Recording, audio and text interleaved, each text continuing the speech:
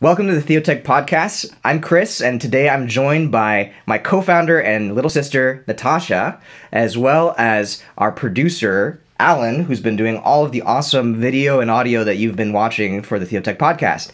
And today we're going to do a top three episode.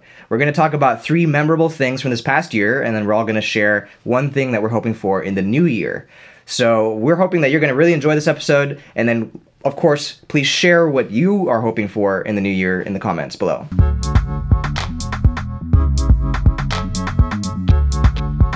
So, um, since this is, uh, we're to do a top three, I'd actually like to let uh, maybe Natasha share first her top three memories from 2017. Uh, so, please share, Tosh. Okay, well, I mean, Christmas just happened, and it was kind of a big one for us, I felt like, because uh, we both separately had decided or had thought of um, hosting Christmas when we'd never really done that before. For our family. For our family. And friends, yeah. for our family and friends. Typically, it's always been like, oh, mom and dad's house, or oh, another relative is hosting. But this year, we decided that we would do it. And that was kind of interesting just because we had separately both felt like maybe we should be hosting Christmas, um, which was cool.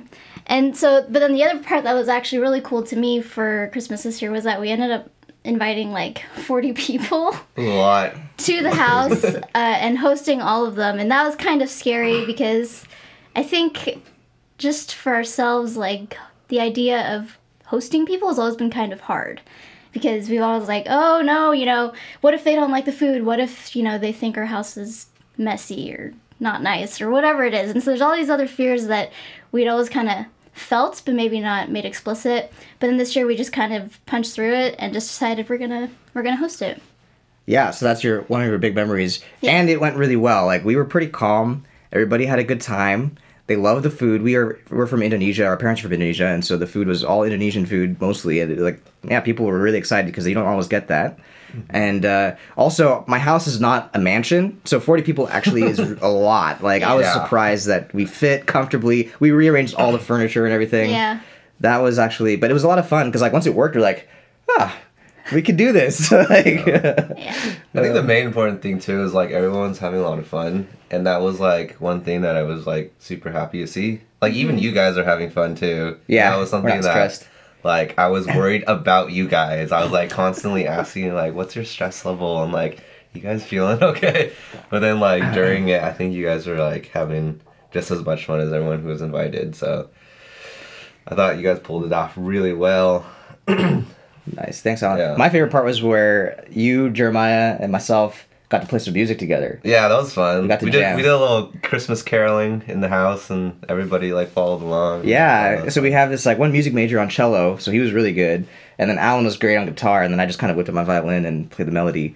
But uh, I it was fun. I would do it again. Yeah. I wish we got a video of it. you guys should do it again. Might should do it splice a video of it right here. Yeah. Oh yeah, There's into the plenty of people podcast. who recorded you because you can Yeah. see how many cameras were just like, oh, we Yeah. have a performance going on. Uh, Yeah, so that one was cool. That was that was you know obviously that happened less than a week ago. But that was a big fresh memory for me. I think that was a milestone for us, just kind of in growing up and learning to host people and uh, planning out a party, I guess, uh, of that kind of size and all of that. So that was cool. That was one area that I think we grew in um, as people uh, to host others. okay, so to keep this interesting, let's actually each of us share one at a time. Yeah. And then that way we kind of cycle through Yeah, couple let's do that. Yeah. We're we're figuring this out as we go. Hi. Hi. so why don't you go next, Allen? oh, me? Well, Yeah. we're going in order. Okay, never mind. um, I need more time to think. We've got notes on the table. We're like constantly scrolling to see if you see our heads like bob down. That's because we're like frantically thinking about like what did I forget. Anyways, um, I just want to like recap this whole year by saying like um, I feel that I've grown a lot like in maturity wise and also just um, have been able to be a little more independent and have been like able to like um, act upon certain instincts and just um, go for things that I feel like are right for me, um, even if that's contrary to what like either my parents think or like what um, some of my leaders think. But um, I think in general, uh, this year has been really great in terms of just like developing and growing me. Um, particularly, one thing that happened this year is uh, I started working again. Uh, I don't want to bore you guys with the uh, details, but it is technically the boring office job, the BO, boring office Body B- odor? BOJ, bodge.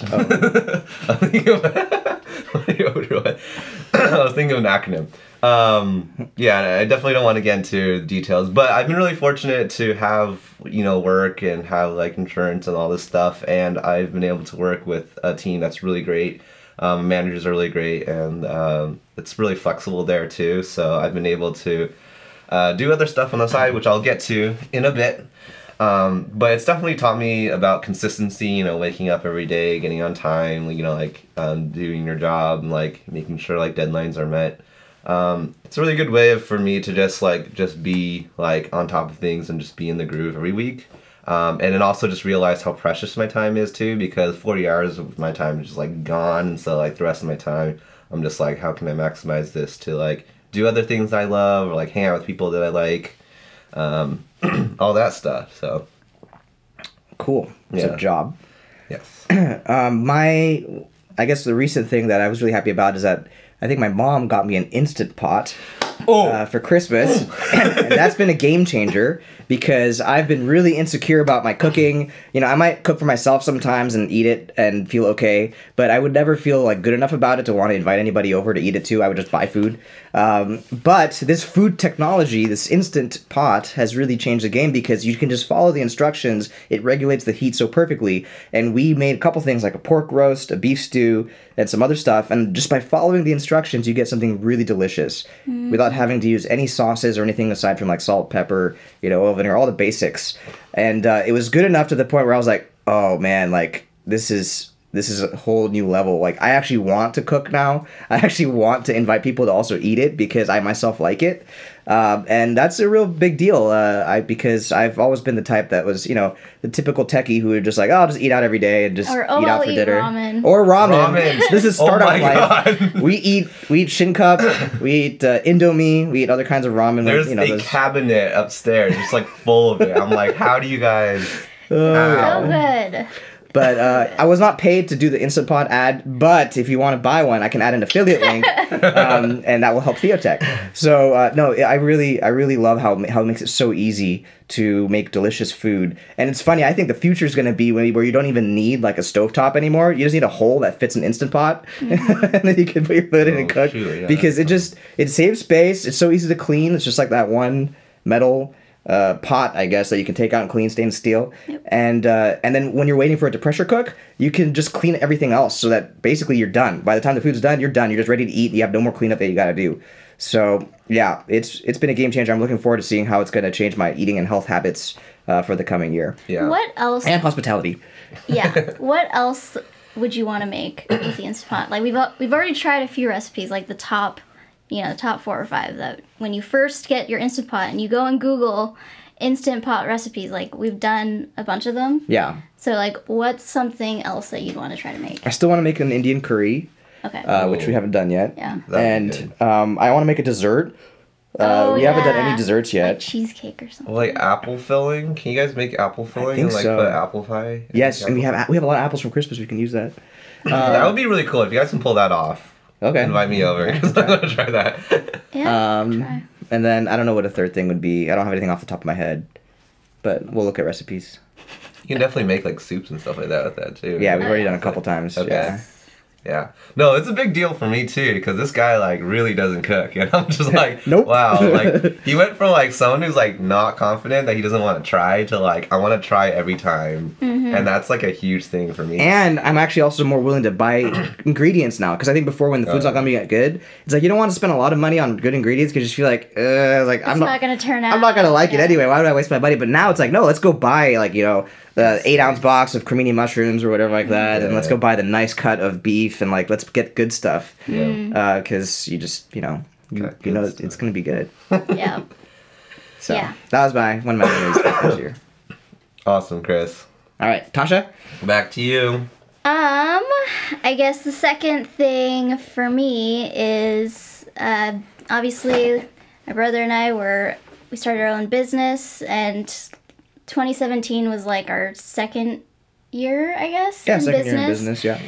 and uh, there's been a lot of a lot of growth there for us uh, just like learning to be business owners and learning to do sales and to handle sales calls um, manage leads and just try to like strategize about the business these are things that we've never really learned uh, we had to kind of learn trial by fire Yeah. and um, so 2017 was kind of just a year of a lot of learning for us and um, learning to not be afraid of failure because that's the hardest thing because then we get paralyzed. We're just like, oh no, we can't do it. And so then we just don't do it. Yep. Uh, so we've had to learn to just kind of punch through that. I keep on using that phrase. Punch through But we, we've had to learn to really just work past that and just keep going um, and just try and experiment. Like in the end, all of this is an experiment.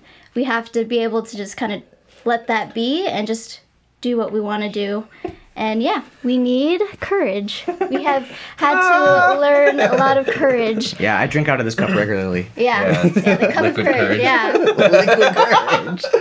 Uh, I don't think it's liquid courage though. that wouldn't help the business. no, no, no, no, no.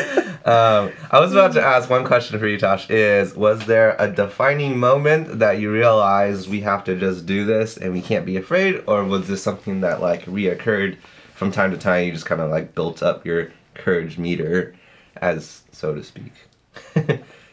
Um, I don't know. I I think it's like these obstacles kind of come at us one at a time, and then we we get into this place where it's like, oh no, do we really want to do this? Like, do we, do we really want to try to like fight through this? But obviously, like you know, we feel like this is something that God has called us to, and so it's like, well, if that's the case, and you know, we know His promises that He's that He is with us, right? So then it's like these things that we want to try to do, we can go and do. We don't have to be afraid of you know the consequences necessarily like if it doesn't work out then it doesn't work out if it does work out great uh, but in the end like there's room for for us to just you know try to learn and experiment with these things and to uh, just gain more experience through doing them. If we didn't do them then we wouldn't gain any experience and you know we would just kind of be stuck with where we were. So Yeah, yeah. it's just kind of every single time that there's something new that comes up we've had to like go through that process of like do we really want to do this? Yes we do want to do this. And you know we don't have to be too worried about what's gonna happen. Like if things fail we have to fix it or you know the business doesn't work out the business doesn't work out. But what have we learned? And you know how can we see in the past you know god working through all of that and up to where we are and you know? Mm-hmm. I would, I would, if I were to tie it to some religious language, I would almost say that startups they they thrive on grace. Mm-hmm. Like they need so much grace, and some people talk about runway and everything like that. Some people talk about you know key performance indicators and metrics and stuff, but just because of all the mistakes you have to make, because of all the times when you're gonna fail, startups need so much grace, both internally, like for ourselves and within the team, but also with customers and partners. And the truth is that not everybody's ready for that. Not everybody is gonna be the right kind of customer who like gives you that grace to so they also succeed and you could succeed together. But when you find those people, it's amazing because you guys, it's really kind of serving one another. You really are helping your customers, and they're also helping you. Um, and that and getting more and more of those kind of gracious customer relationships, I think, is what can help a startup in particular thrive. You know, once you become an Apple, everybody just expects everything out of you, uh, and uh, you know that's it's just it, the game changes. But when you're a startup, you can't survive without that kind of grace that that our customers and other people kind of give you, so you can figure things out. It creates that space where you can figure it out as you go, um, and still serve them. You know, still help still help meet their needs. So yep yeah, but it's hard to believe that we live in a world of grace. I would say, like yeah yeah the fear of failure, the fear of rejection, all those things are driven by this assumption that the world ultimately is a very, very like ungracious, unforgiving place. yeah So it takes faith to be able to still go at it and Yeah. you know pursue uh, what we think God called us to. At least you guys are still standing here. We're still alive. That's the miracle. Chris, it's back to you, man. You want to? Sk- you're skipping your turn now. Okay. Oh, is it back to me? That's okay. I made it I keep weird. thinking it's going this way. Uh, Okay, so- it seems like Okay, tied to that, I'll I'll talk just- about I'm gonna switch it. like my big like i think that what i'm really happy about is like uh, even though theotech and our product spiffio for real-time translation is not wildly successful yet like you know it's not like the next big ipo of the year but this year I think that uh, we've it's grown so much. Like I look Yeah. back at where we started. Uh, where it was still all based off only prepared manuscripts and translations, to now where everything can be automatic and on the fly, and uh, that's pretty amazing in the course of a year. Yeah. Um, and I think tied to that is not just the product side, but it's also the product market fit.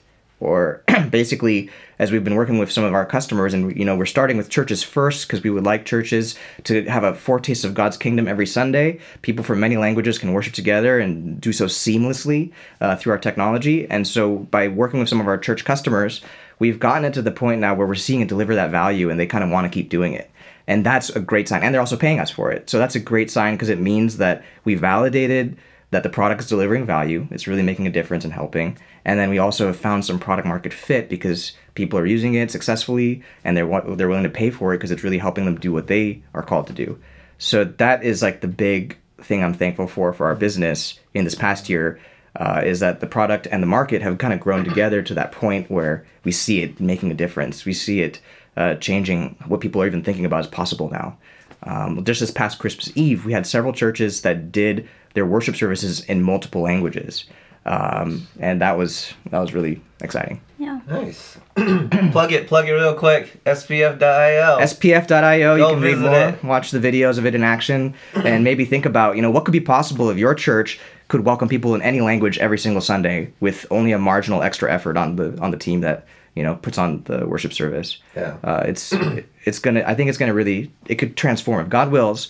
It could transform churches in America or around the world to where you can go to any church and really any any language could be available uh, there, and you can start seeing communities that are united by Christ and not really segregated by language uh, and culture. We'll see. Can be used outside the church too. If you just need an event with multilingual too, right? Allen's a good salesperson, isn't he? Yeah. Yes, of course. it could be used. Anytime you got language barriers, just go to SPF.io. See if their solution's right for you. Ha. Thanks, Allen. yeah, no worries. Yeah. This, this whole thing really is just a plug because I'm going to be my own plug and let you guys know that um, for the past like couple years I've been trying to do content creation. Um, and I've been trying to like find where my niche really is. So I started with music. I, I grew up playing music, and uh, that evolved to podcasting. So if you see some of our older videos, you'll see me in it. Uh, uh, that go that went into like video stuff. I tried doing YouTube for a bit. Um, that didn't really work. I mean, there's no really way to like not work in in YouTube, right? You just maybe don't meet your goals. Yeah, I didn't blow up. Let's just say that. Okay, not Um, enough, not enough subscribes, reviews. Yeah, not not enough subs, not enough subs. Um, but really, this past year, I've been focusing on one particular content creation, which is uh, photography. So I have stepped up my Instagram game, and here's my plug: twoawong two along. Uh, if you go there, that's my Instagram page. I broke 600 yesterday. nice. is like- Wow.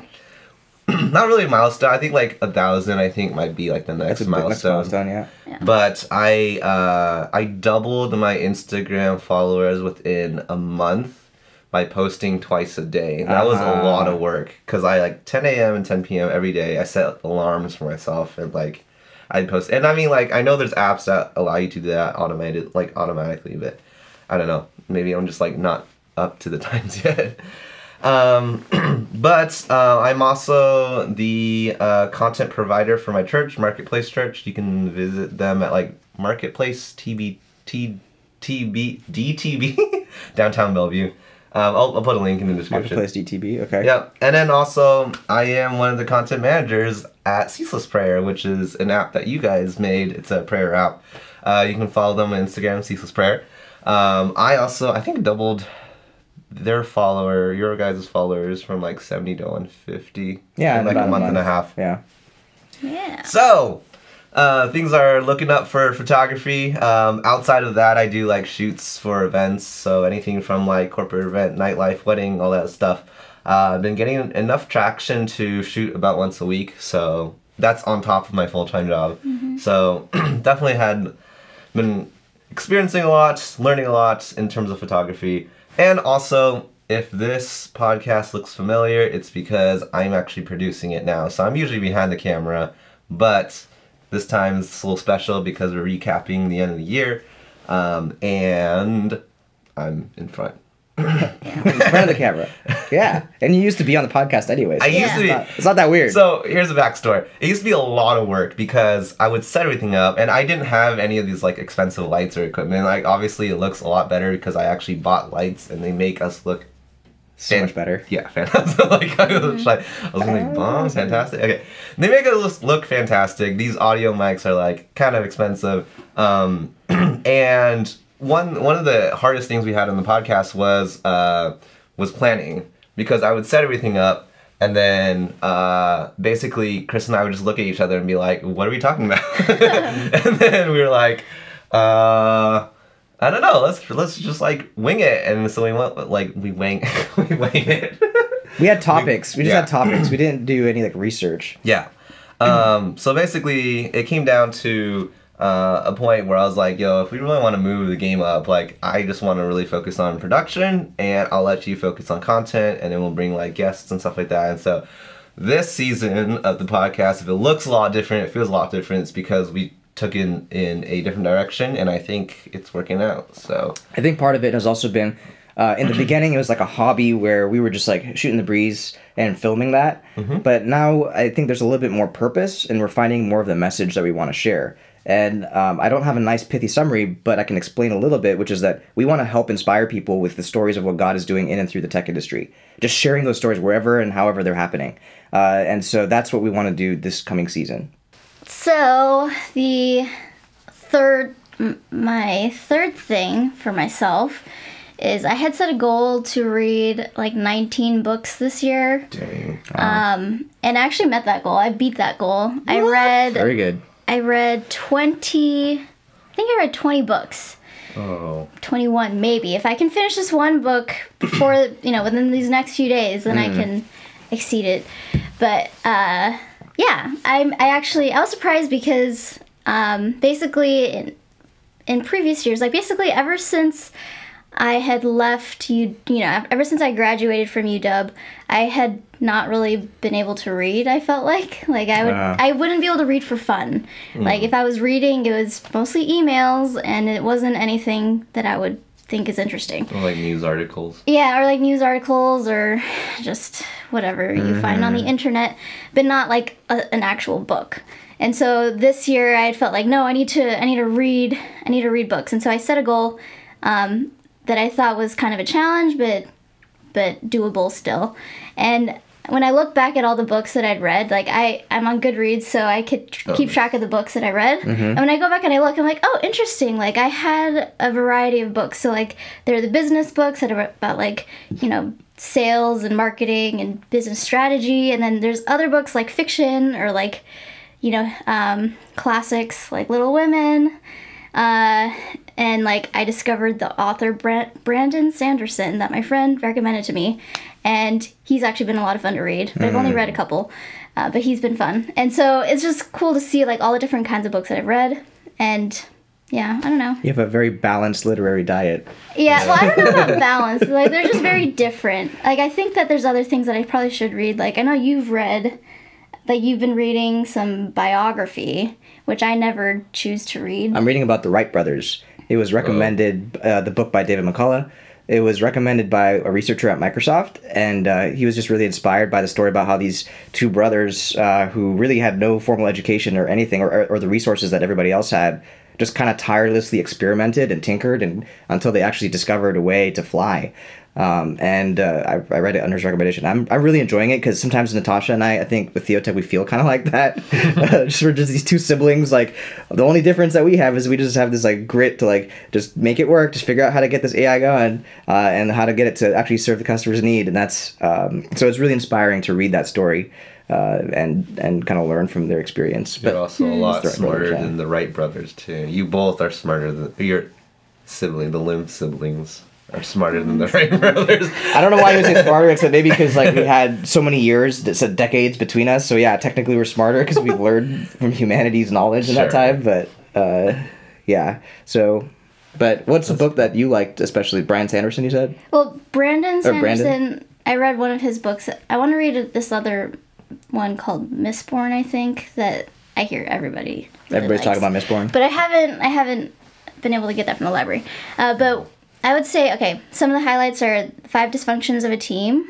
That's the book that you recommended, Which our friend gave us, yeah. which our friend gave us. Yeah, that one was a really good book. It's like kind of a business Parable. fable. Oh, yeah, fable, Like, fable. Yeah, parable. Um, so it's not like necessarily an actual story, but it's definitely realistic enough that you could see it happening. Um, and that one was really interesting, just insights into, you know, how do you manage conflict in a team and like the different kinds of dysfunctions that come up. I can't tell them to you right now because I don't remember because I read it at the beginning of the year. But I just remember, like, after reading that book, it was, it was like, oh, you know, there is actually this emotional organizational health that's possible, but it requires work. Um, so that was one good book that I read. Another one was Little Women. That's uh, an old book that I actually reread because when I first read it, that was I don't know fourth grade. Uh, but that book is just really meaningful to me. I think it's more meaningful to me now than it was when I was in fourth grade. Probably because there's more life experience that I can draw on and see like, oh, you know. Oh man, life is so much more meaningful once you've lived through a few more years. So, uh, yeah, that's those are the two like two highlights. Another one that I read was The Next Worship uh, by Oh, Sandra. Maria Van Opstal. Um, and it was really cool to hear her speak actually at uh, Christ and Cascadia's Worship at the Arts Conference that happened in February of 2017. So that's also what kind of prompted me to read her book. Um, that one was a really good one just to, to you know, it's good for us, like especially with Spiffio, to know like there are people out there who care about um, you know, having multicultural, multilingual worship services already uh, without necessarily having to use um, the cutting edge of technology. You know, there's ways to incorporate languages in a worship service without needing necessarily to, you know, go out and try to like dig up some deep cultural thing. Like, actually, if you just look around at your church, you probably have diversity there already. And it's just kind of recognizing that and you know incorporating that into the worship service so that everybody can can um, experience this unity in christ uh, that's beyond just you know the surface level majority culture. Yeah, I think the last thing for me, uh, and something a little more personal, like okay, so I don't work for Theotech, so like sometimes I don't I don't need to like talk about Theotech all the time. But I guess something personal for me is uh, I started seeing a counselor for pretty much the last half of this year, um, and it's something actually it's something that I do talk a lot about if people are interested in listening to it. Like I've told them about it. I think the only people I haven't really told about is uh, my parents, but it's okay. They'll find out eventually. um, uh, but They're gonna yeah. watch this and find out. Basically, it's hey dad i think you should watch this podcast episode I'll link it to them on Facebook. There you like, go. hey, I made a podcast. You should watch it. Um, it's been really helpful. Um, I think the main thing about seeing a counselor or therapist is that they're able to provide an unbiased perspective that most people don't have because a lot of my friends or family will already have perceived biases when it comes to advice or suggestions and stuff like that. So it's really nice to have someone that's outside of that whole realm uh, looking into kind of my world and seeing some of the assumptions that I've made uh, that may or may not be true, or some of the things that I believe that may, again, may or may not be true. Um, and uh, there's definitely a lot I can talk about in terms of just like mental health and all this stuff. But uh, tying it back to faith and technology, um, I do want to do another episode later this year uh, about mental awareness or men- mental, Mental health awareness, yeah. Yeah, and how it ties into um, technology and the gospel. And we've been talking about that. Uh, I have a few friends who are in the uh, counseling uh, realm. Um, and that I would be want kind of to invite them to the show. Yeah, that'd Yeah. be really cool. And I also know that there was like this one nonprofit. Uh, it's not a Christian one. It's just open sourcing mental mental health or something like that. Mm-hmm. Um, because it's a real serious problem in the tech industry, especially that um, Yeah. uh, you know I think everyone's concerned about. And so it will be it will be great a great topic for a future Mm-hmm. episode. Um, cool. Yeah. So I guess the third, the, my third thing that, that I am truly grateful for, um, is that we, my sister and I have found kind of a church home where we're settling into, and it's Union Church. uh, down in South Lake Union in the heart of Amazon's campus, so the location's strategic. And during the week, it's actually a cafe called Kakao, and so we've done things different uh, different events there. Um, but what I'm so grateful for actually was that I just recently had breakfast with uh, one of the pastors there, and it was the first time in probably like 10 years or five years that I felt pastored. Uh, it was just that time where like, you know, you're just talking heart to heart. Maybe it's a little bit like counseling, but it's a little bit different and Yeah. sharing life together. And I just, uh, I was just really grateful for that time. And I think that it's one of the things that I've been missing. And uh, tying it to even like faith and tech and, you know, one of the episodes we did with Jesse about pastoring one another in the workplace, even like I feel like as, a, as an entrepreneur of a small startup, um, where we're outside of even the Amazon ecosystem, it can be really hard because you just feel like you have to do all the time, Yeah. and there's nobody there who's just like there to like pastor you or support you or like listen to your problems and like you know pray for you in that way. Um, you just yeah. So it's it's been that's been cool, and we're hoping that for other people in kind of my position, I guess, other entrepreneurs, other people in the smaller context, we're hoping to do something in this coming year to have that regular community and kind of mutual support um, uh, somehow. I don't know what the answer is yet, but it's something I'm looking forward to and uh, something I'm grateful for. Nice. All right. So I guess I just kind of three. combined my top three with one thing I hope for in the new year. I just Yeah, combined it. yeah. Oh, I saw. Oh, there you go. No, I didn't even realize I was doing that. But um, imagine, like, imagine that, right? If not only in Seattle, but in communities all around the world, people in the tech industry and even outside of the tech industry who might be kind of isolated right now, they can find that um, that kind of Christian community where it's not just you know just not just a small group or worship service or whatever, but really we all understand because we're all in the trenches together. You know, we feel all the same kind of hardships of being an entrepreneur, being a techie or whatever like that, and we are praying for one another, supporting one another to live out our faith and bear witness that way in in the places where God has put us. Like if that could kind of regular community could happen, I think it would be a big service to you know not only Christians but to the world really, um, and also a big uh, help, a big help for us. Yeah. So that's one thing I hope for in the new year that we can be a part of and and help initiate too. Cool. So Are we going in reverse? You go next. Um, I am not prepared for this question. Okay, I'll, I'll go next. I'll, I'll go next. Um, we're going in reverse, guys. So I think one thing,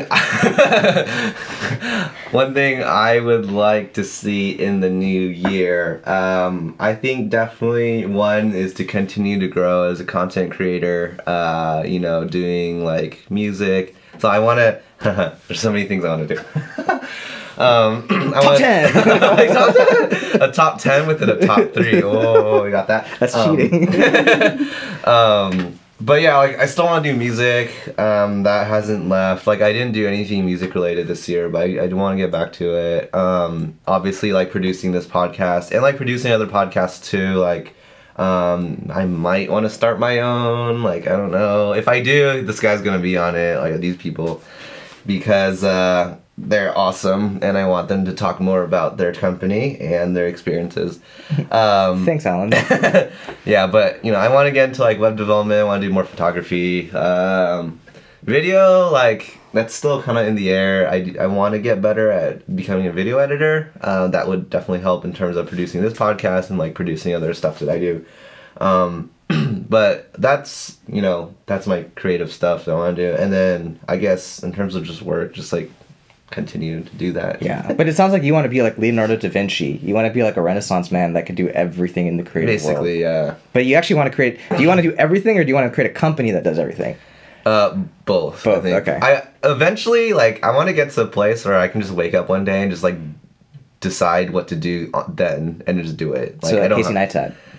Base. Uh, I don't know. Oh, not Casey Okay. Casey does like everything all the time. Every day. Okay, so that's And I a think bit too much. Like, yeah, that's like insane. I mean, that's kind of cool to do maybe like now, but like definitely not in like twenty years. Yeah. that'd be Oh, too much. overwhelming. but yeah, stay tuned. I'll plug whatever I'm doing in the future. All right, Tasha's turn. Um, I guess for me, I think it's. Uh, I don't know. I would say that for myself, I want to continue to grow in um, overcoming the fears that I have uh, and uh, just kind of maturing in being an adult. I don't know Adulting. in adulting like i feel like for the Totally longest fine. time i have felt like i'm like always like a teenager. Maybe it's partially because you know one I'm short and I'm Asian. Uh, and so whenever somebody just kind of glances at me, they they assume that I am like 16. Maybe it's just like a part of me has always felt like, oh, because I can get away with appearing like a 16 year old, then you know You should. then, then I can I can continue to just kind of feel like that. But it's like, no, you know, I'm an adult, and being an adult is kind of just, you know, regardless of what the other people think of you, you go and you, I don't know, like do do the things that you feel like you need to do. I guess Being responsible. yeah, just kind of like being responsible, initiative. taking initiative, like being your own person almost. Yeah, Um, that's huge. So, so it's like, I mean, that's, that's kind of you know, this is weird, but this is interesting for us because I feel like um, we are Asian and then we grow and then we went into the tech industry, right? So you kind of get well paid, and I feel like there's just like in the Asian world, there's this like a really uh, deficient definition of adulthood or maturity, which is basically like you have enough money to support yourself, which is an important component of being a an adult, but it's not everything, right? And so it's just kind of like um, we we got to that point where we could support ourselves, but we still weren't actually that mature, responsible enough to like, I'm gonna decide this and do that and initiate this and like Yeah. I'm not stressed out over that. I'll just take responsibility. Like we never like yeah. grew up to that point. It's kind of like what is adulthood, right? Because we think adulthood is like, oh, that you can take care of yourself, Mm. and like, oh, and then you check off the box. Oh, I own a car, I own a house, right? Mm-hmm. But then it's like, you know, those are just things. Yeah. I'm I'm an adult, but I don't own a car and I don't own a house. So it's like, what is you know where where am I basically? I'm not I'm not meeting these milestones that people say are like the marks of adulthood. So I'm like, what does this mean? well, Asians would say that you get married and then that's when you're an adult, quote unquote. yeah. Well, So that's we actually were really behind that. I was about to say this would be a really good podcast episode. I, it would be like bring you two What back is- what is and talk adulting? about Theotech podcast adult Yes. hashtag adulting. yeah. Adulting. yeah, that's it. yeah. For all you millennials out there, we feel your pain. We were one of you. Yeah. We went even though we're like ten years older.